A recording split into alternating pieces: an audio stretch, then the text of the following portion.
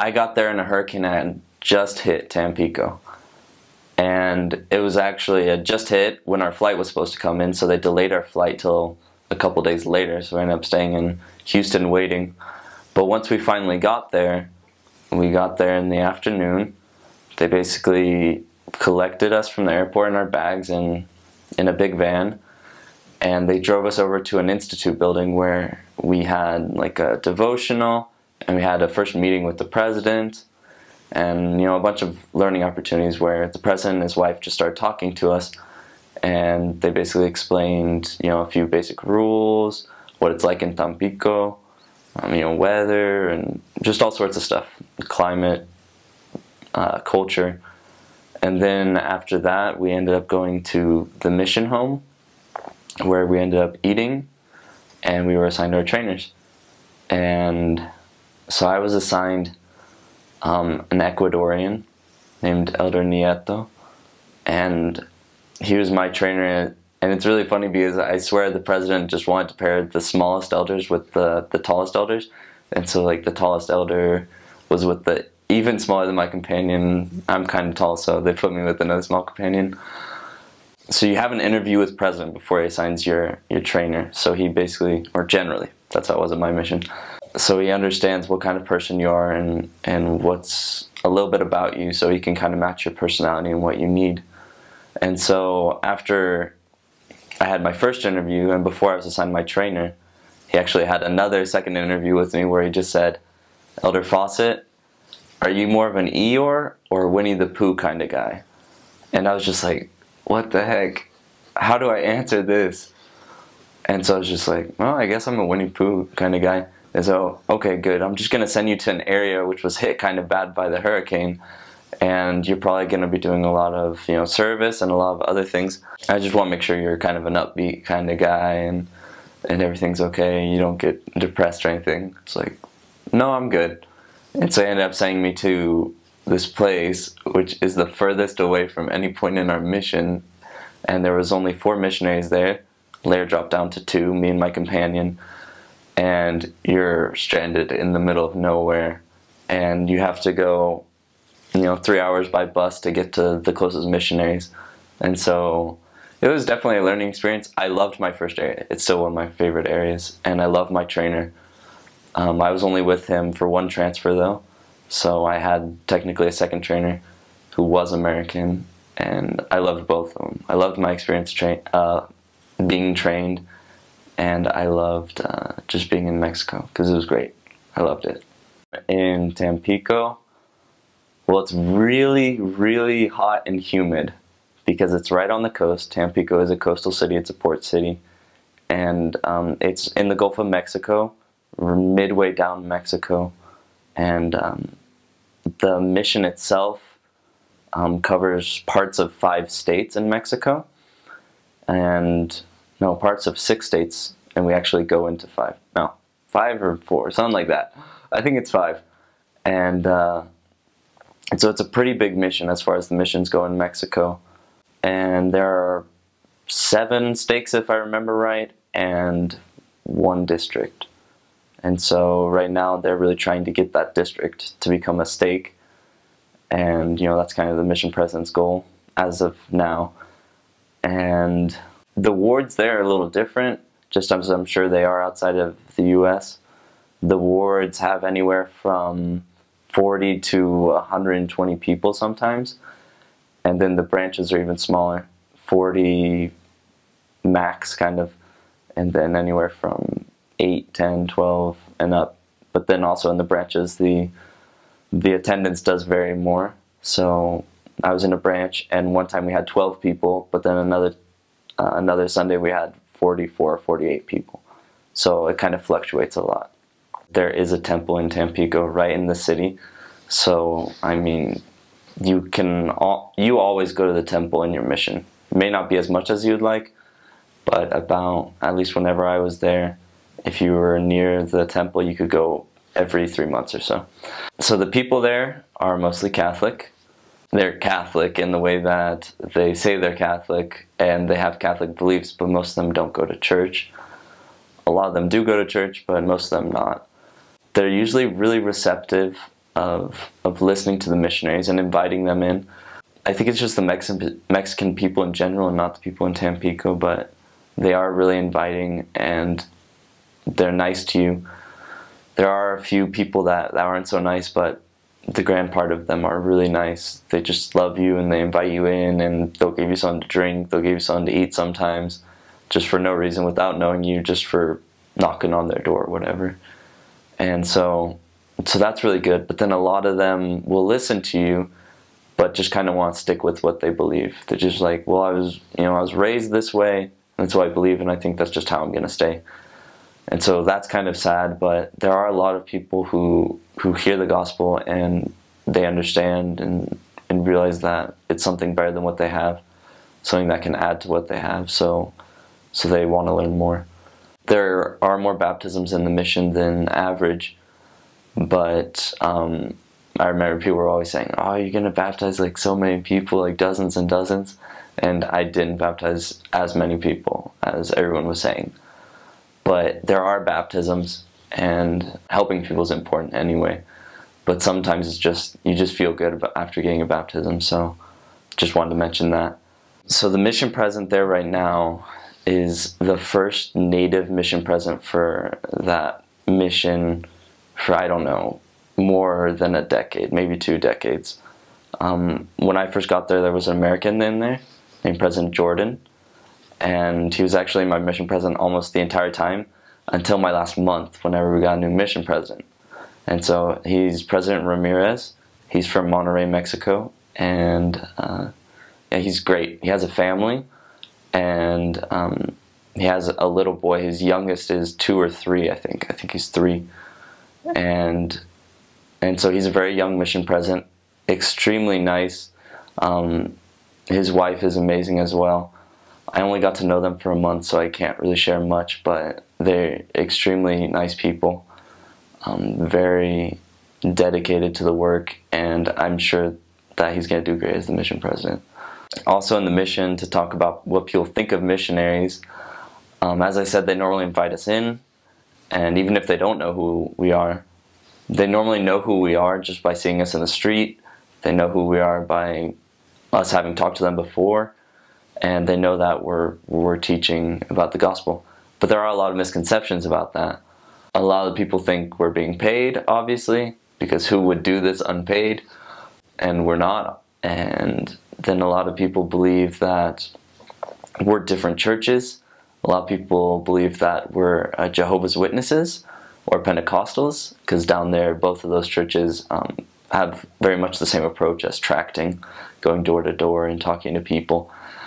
But uh, you know, one thing we always point to was our plaque, our name tag, and we basically said, you know, if, if they have a white shirt and tie and they have this on, then then they're an elder. They're from our church or or a sister, and we kind of explained the difference.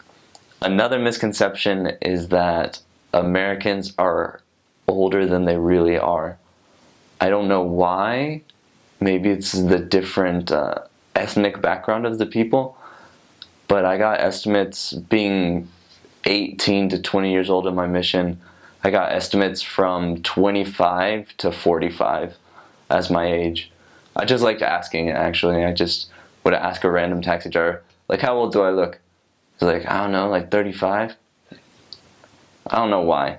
And they also believe because we're older that we're married for some reason.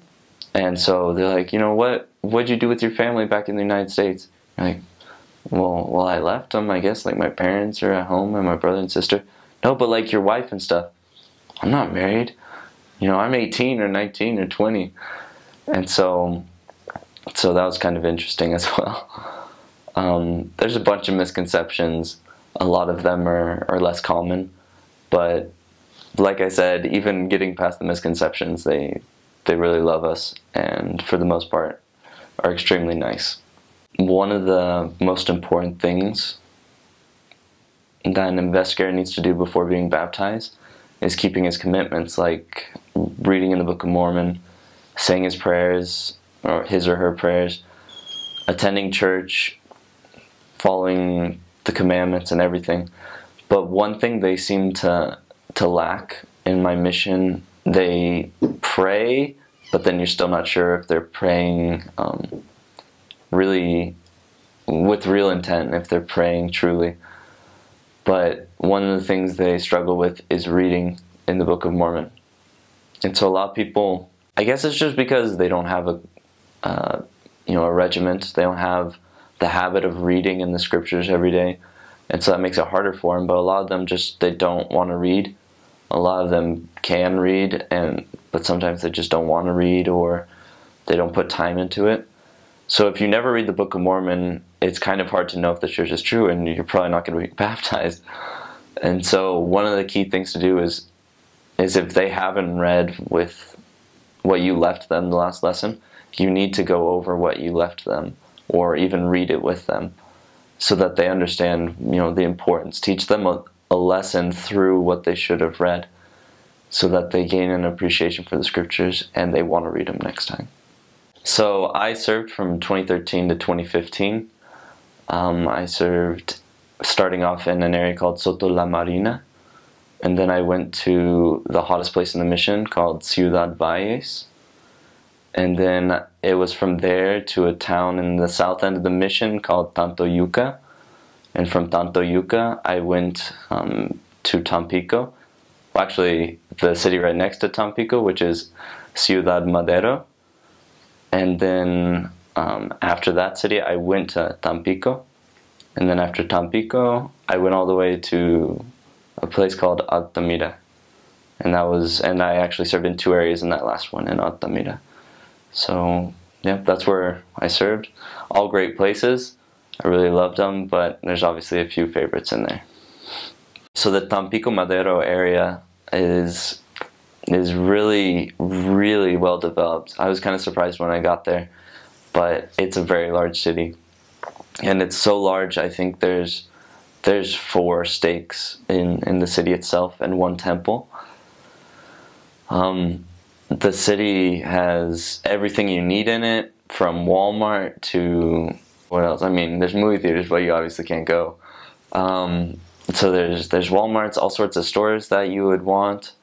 Um, it's really cool because it also has you know the city center, which which is just you know this nice metropolitan area that mixes history with with modern.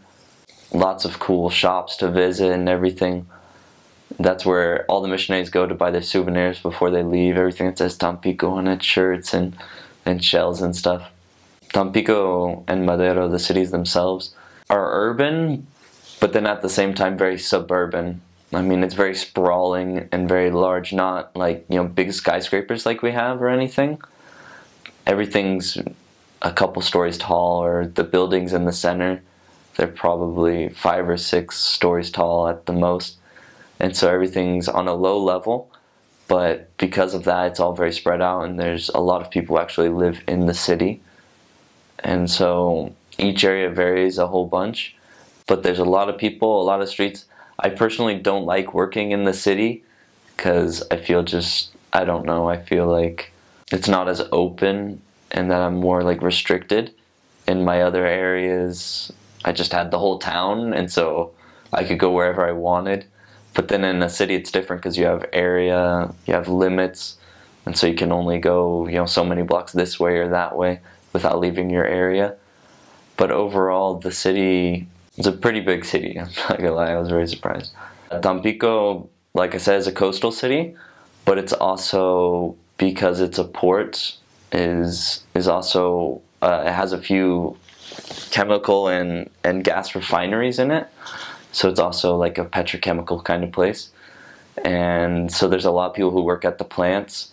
There's a lot of people who work for people who work at the plants, and there's even a whole medical giant hospital for people who work at the plants.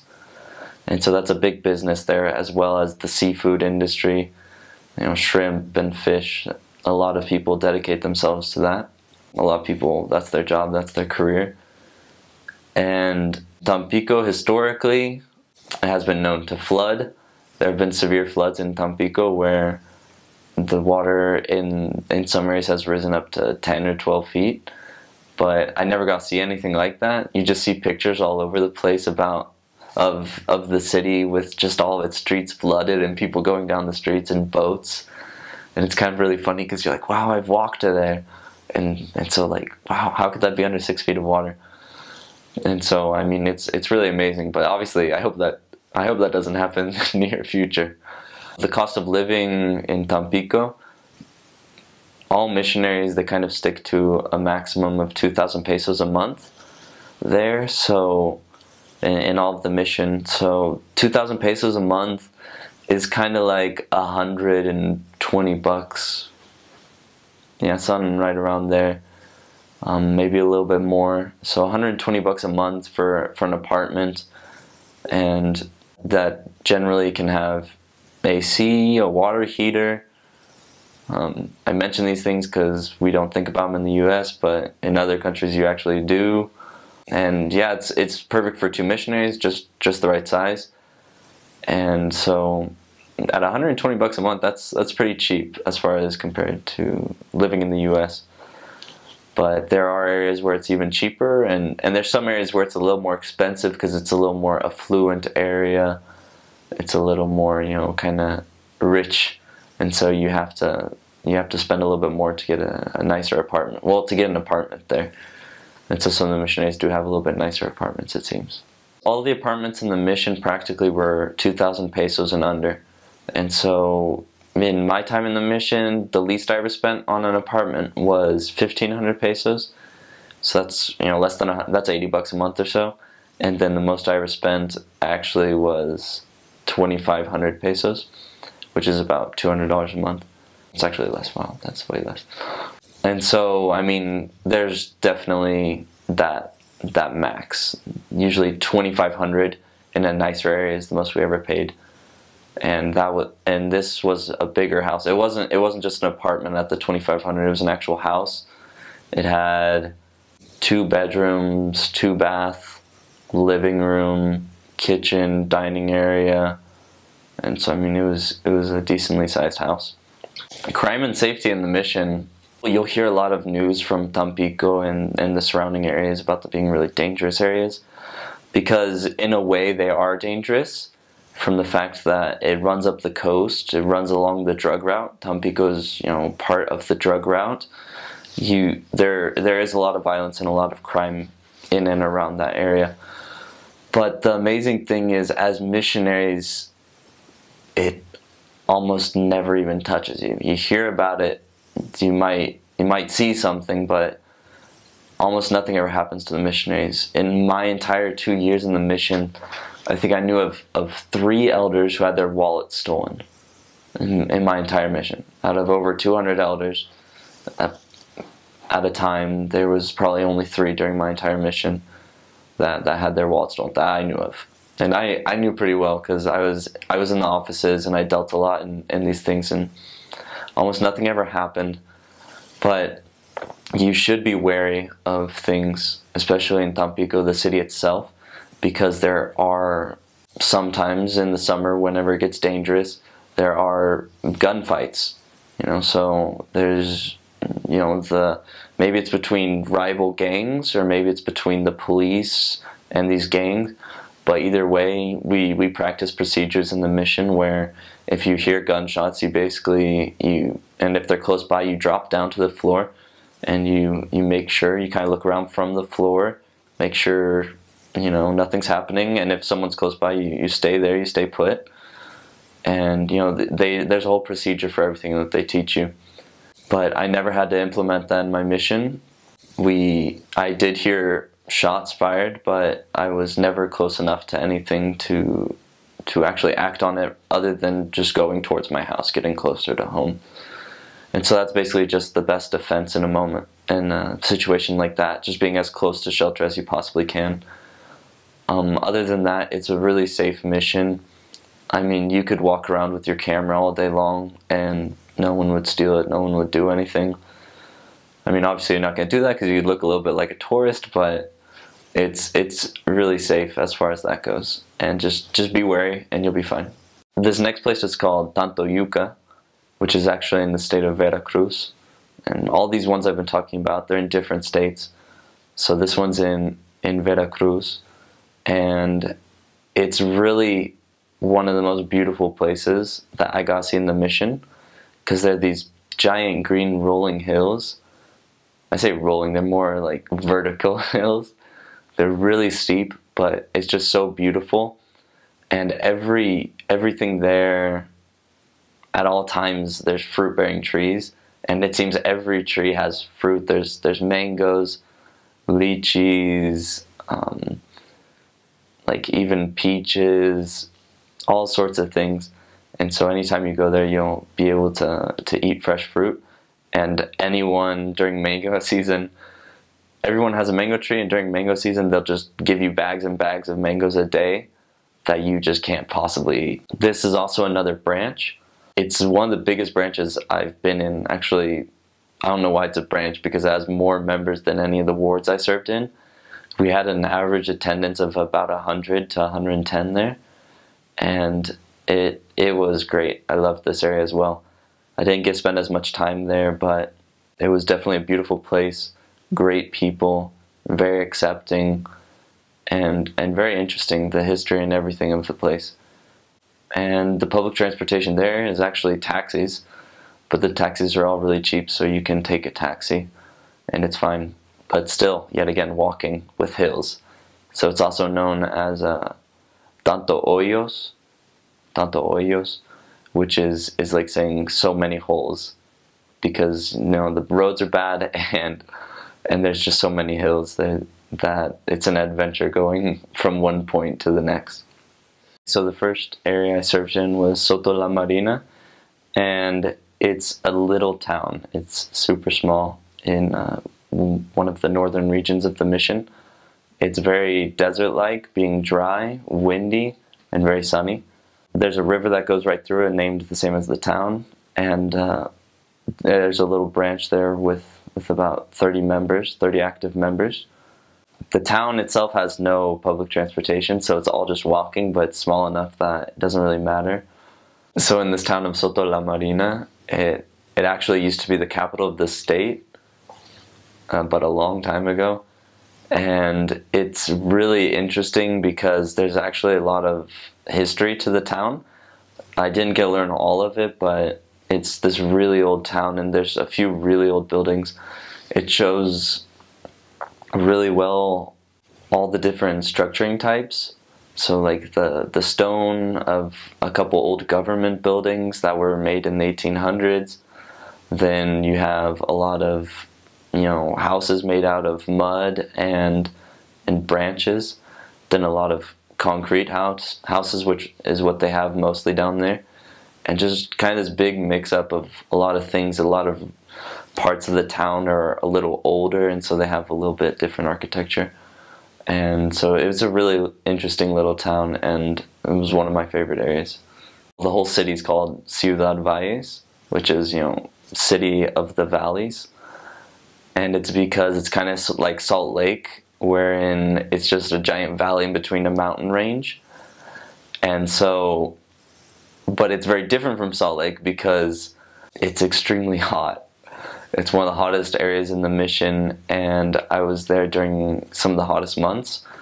So it, it's really great because um, it's really big, really open, tons of areas. It's actually a stake there, so there's tons of members but it's also extremely hot. And the house I lived in actually didn't have air conditioning, and it was one of the worst houses in my mission. All the houses are, are generally clean, but this one was just really small and it got really hot, and we didn't have AC, so it was really bad. but overall, I still enjoyed my time.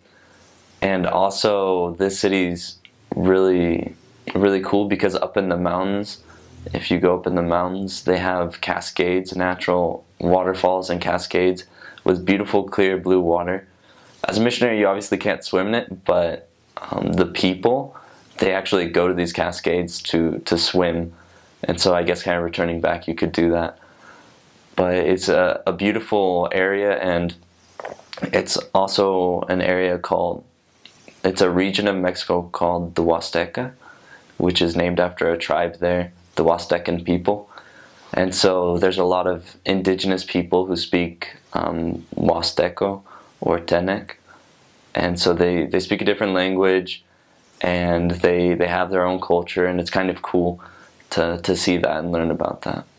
In Valles, they do have a transportation system because it's an actual city, and so they have a bus system and then a taxi system. You generally take the bus but um, more than anything in this in this mission as well as this area you're going to be walking. There are no bicycles in the mission and so it's just walking and public transportation. So that's in this area you you get the opportunity to ride a bus sometimes and so that's that's always nice. Then my last area was a place called Altamira which is again another port city. It's a little bit to the north of Tampico. Again there's people who work in refineries and people who work in the port this this place is it's almost like an extension of Tampico, but a little bit um, further off. It has three or four wards there right now, and so they for a time they're pushing for it to be a stake itself, and they'll probably be in in the not so distant future within a couple years. It'll probably be its own stake, and so there's there's a decent amount of members there as well and it's not nearly as large of a city as Tampico or Madero, but but it definitely is um, not a little town. It it has again most commercial shopping areas that you need. Not a Walmart, but you know the Mexican equivalent, um, as well as you know it's big. There's there's a lot of missionaries in these areas, so I mean it's a really good area again, it's it's kind of more deserty because you're getting towards the north. But generally, it's it's a little bit cooler than being so close to the coast like Tampico. It's a little drier, so it's not as wet, but it's still not quite as dry as you know my first area where it's basically a, a desert. This this area was I served in two two areas in this city, so I got kind of the perspective of both areas. One was more suburban, and then the other area was more kind of country, you could say. And so I actually, I actually end up liking the countryside a little bit better. So because the people are more inviting in these areas normally, they're more apt to listen to you and to invite you into their home than than in a city or in a suburban area where they either don't want to listen to you or maybe they don't have time or whatever it is. But the people in the country are more laid back, and so so they just they might be sitting on their porch and you can just go up and talk to them and, and start a conversation and maybe have a lesson there. And that's why I always liked the country areas like that. There's a lot of extreme weather in Tampico and, and everywhere else, but I'd have to say the most extreme weather I experienced was in my first area. We were at an appointment. It was late at night, just very windy, and it felt kind of off.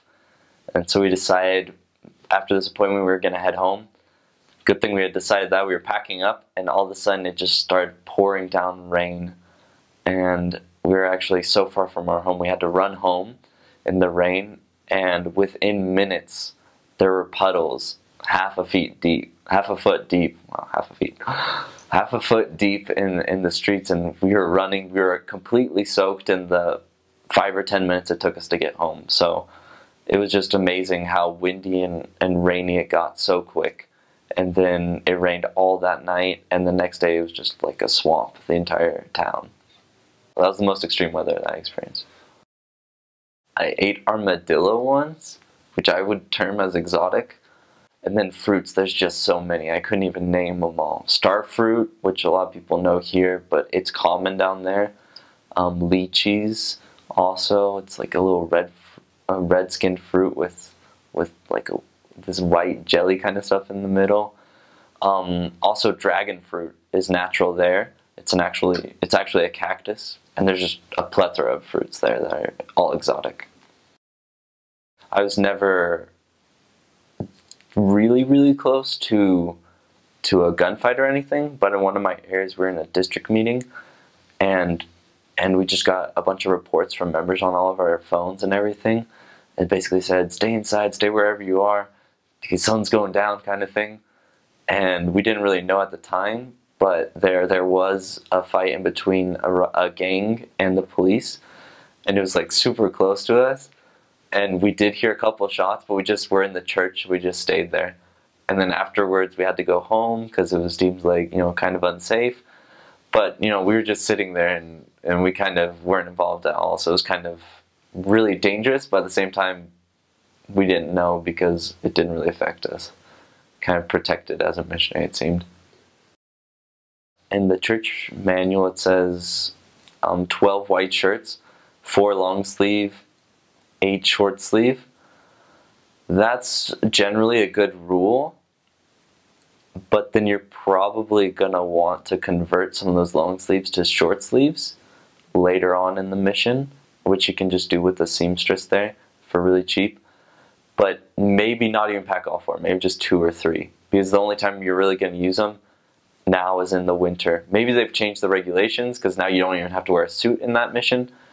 But um, just in case they do, just so you know, you need more short sleeves. They need long sleeves. Yeah, just follow the list and you should be pretty good. I was okay. Just make sure to bring money or a debit card or some some way to get money.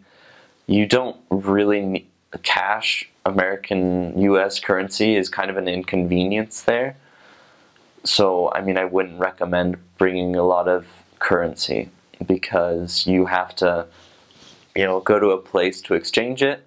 And in Mexico, you need your ID, and so you need your passport to do that. And your passport stays in the office to make sure it's safe. So, it's probably a low likelihood you're going to get that. So, just for easy thing, you can get a debit card from home and just use that in ATM there. There's ATMs that only charge you a small transfer fee of two or three dollars for for taking out, you know, of a US account. And so I mean it's it's decent and it's easy. Just bring a card. You don't need currency. In your mission you just gain an appreciation for so much.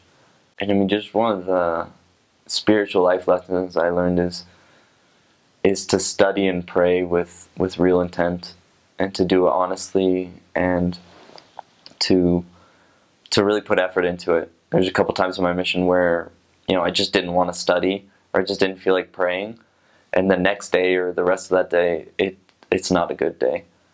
And so whenever you you do something, you know, do it honestly, do it truthfully, and if you're praying, tell God like honestly right now I don't feel like praying, but I'm doing it because I should, and and you know, can you help me feel better?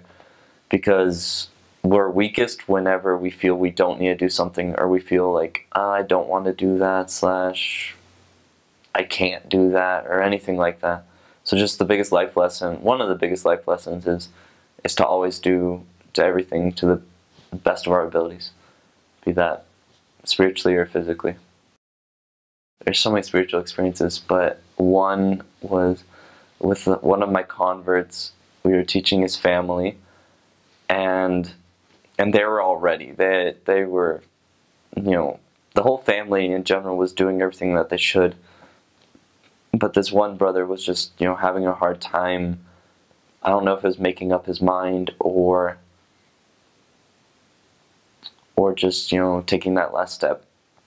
But he had a problem with you know drinking alcohol as well as coffee and so we thought, oh man, we gotta work with him because he needs to stop doing this. And the hardest thing's gonna be the alcohol, obviously, because he actually even worked for for a beer company. It's like, oh, this is gonna be terrible. And so we talked to him about it and how he needed to stop, and that's what we thought would be like the final push to help him. Like that's what was gonna give him his answer. And he said, you know, yeah, I think I'm gonna do that. And so we came back the next week, and ended up being that he dropped instantly alcohol and coffee. And it was, it was really amazing. But he it was funny because he said it I, I could drop alcohol anytime but coffee that's the hardest for me. And so we just kind of put out a plan to help him. And it was amazing to see this brother grow from this shy and timid um, guy who who we didn't know if he could ever get baptized because he just didn't want to accept it almost to this man who just became a spiritually deep and um, open person about about his beliefs. In, in such a short time from this one experience, he just he changed and was eventually baptized because he he just grew so much spiritually from this experience. Congratulations! That's you're going to the best mission on the face of the earth. And I'm not just saying that. That mission has completely changed my life. The people there, both missionaries, members, and non members, are some of the best people on this earth. I honestly know that that you're going to enjoy your time and, and you'll get what you put out of it. You'll get so much more than what you put put into it. I know that that the Lord is is over his missionaries.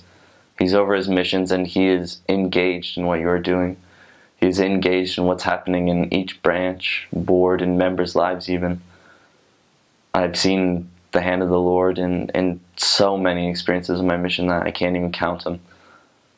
I know that, that the Lord will bless and protect you, and I know that, that you're going to be a successful missionary as long as you study, do what your mission president says, and always try your best to, to be the, the best servant of the Lord that you can. I know that this mission will honestly, it's one of the cheesiest phrases you can say. The mission is the best two years of your life. And I know that without a doubt. And I invite you that you can always be worthy of the Spirit so that He can guide you in all that you do.